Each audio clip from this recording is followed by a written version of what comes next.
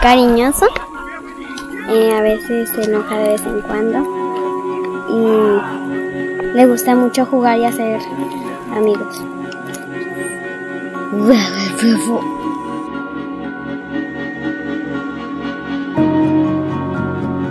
Muy, muy inteligente y de hecho este, ha madurado mucho por, por su hermano.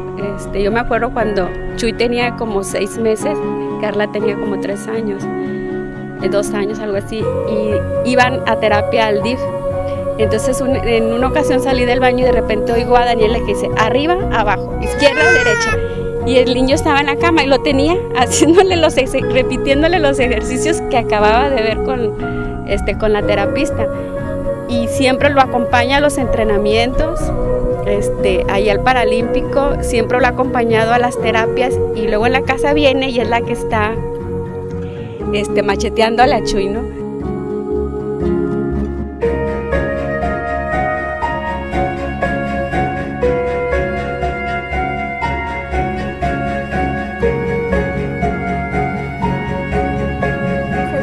Muy hermoso porque este el principal, este, lo que quieren alcanzar todas las familias con niños de discapacidad es una integración social, que, la, sociedad los vea como, como otro niño que puede sobresalir, puede destacar.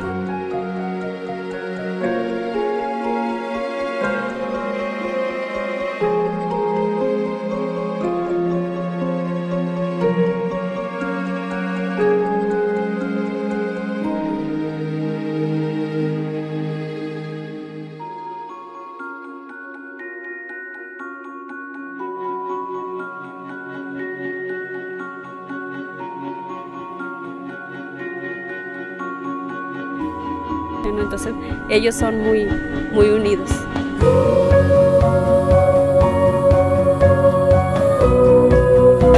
Siento muy contento este, estar en la cancha viendo a mis hijos este, convivir con los jugadores. Fue algo muy bonito, muy hermoso.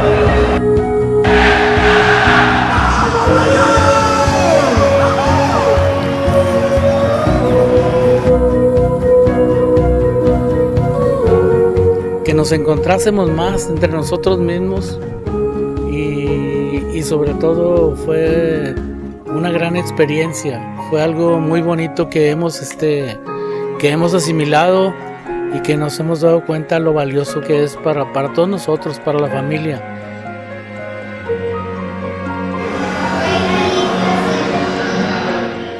Va a batear Chuy, va a batear gol. Estar ahí porque así poder ayudar a mi hermano. Iba corriendo y de repente gritaba, ven nena, ven nena. Yo, nena no está, o sea, él siempre la, la hace ya a un lado de él.